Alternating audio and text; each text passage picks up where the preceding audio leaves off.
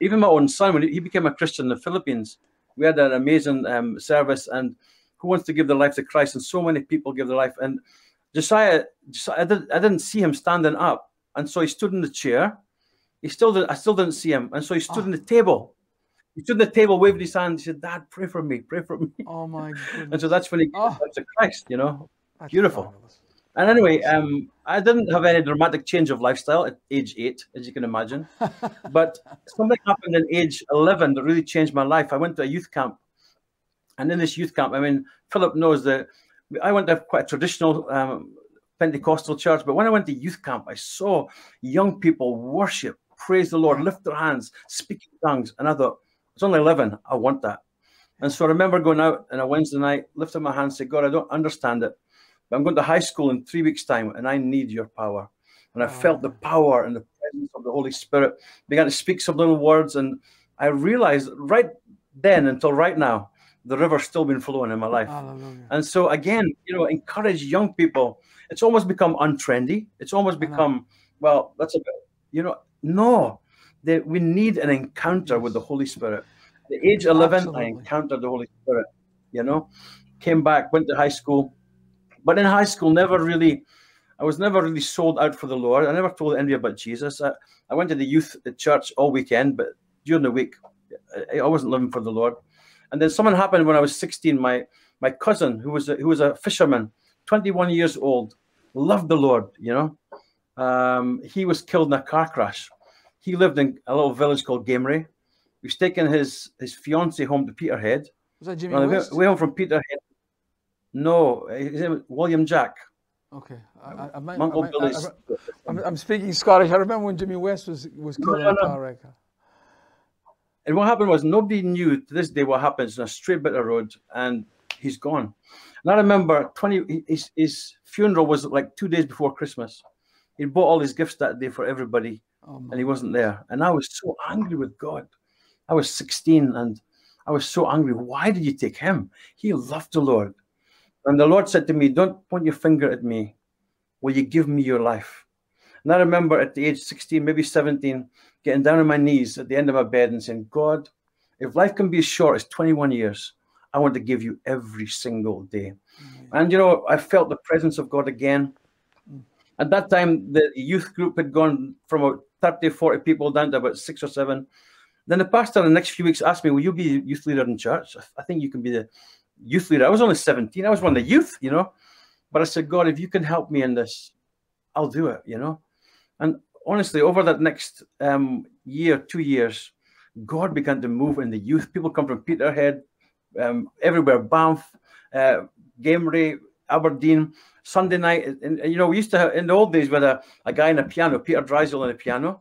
But God said, get a band. And so we started up a band, you know, this is 1980s. And um, yeah. with a guy on the piano, with a guy on the bass guitar, I learned the guitar.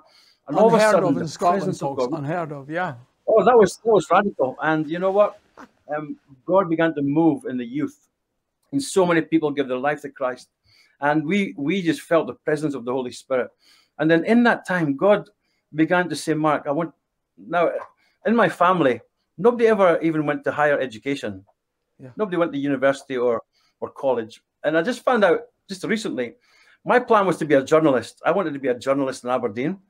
And so um, I was I got my O grades, I was taking my Highers. All of a sudden, one Sunday night, this guy came into my, to, to, the, to the house and said, Mark, I've got a great job for you. I said, What is it? Selling fish down the fish market. I said, Really? He said, Yeah, you'd love it. And my dad said, Well, that would be great. And so next day I went down for this interview to sell fish. I didn't know the difference between a haddock and a whiting, you know. I didn't know anything about fish. But anyway, before I, within a week, I had this job. Now, my dad told me just like six months ago, he purposely designed that. He he he recognized people go to Aberdeen to university and the backslide. Yeah, yeah. My son's lost, not yeah. going to backslide, so I'm going to make sure he's going to work here. And you know, I became a fish salesman down the fish market. Forty bucks a corner, one for one, all that kind of stuff. And I learned to use An my voice. That's learned, crazy. Yeah. And um, and then one day God, I really felt God called me to go to Bible college, uh, Assemblies of God Bible College. And I thought, Lord, I'm too young. I'm too young.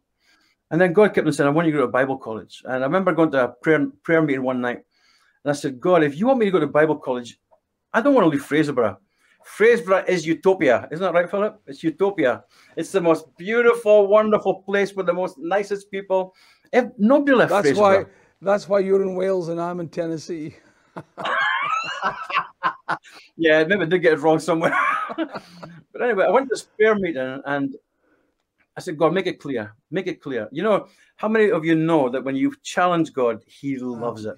Yes. Every time in my life when I said, God, show me. Show Lord, me. I'm serious. Lord, show me. He always loves to show us. Anyway, I went into the, I was going into this service. It's mostly all old people. And this lady in the in the way in said to me, Marjorie, Mark, I've had this question for a few weeks. I want to ask you tonight. Have you ever thought about going to Bible college? Wow. Wow. Wow. And so I went into this meeting. There's about 20 of us. And I was saying, God, I just feel inadequate. God, I've got no money. God, nobody will understand what I'm saying. God, I don't have the faith.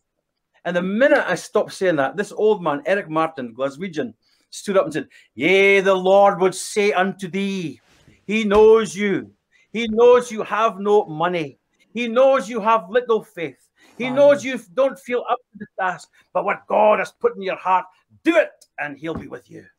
Mark, let shaking. me tell you something. Listen to me. As you're pro- as you're saying that just now, that was a, a word of prophecy for someone watching.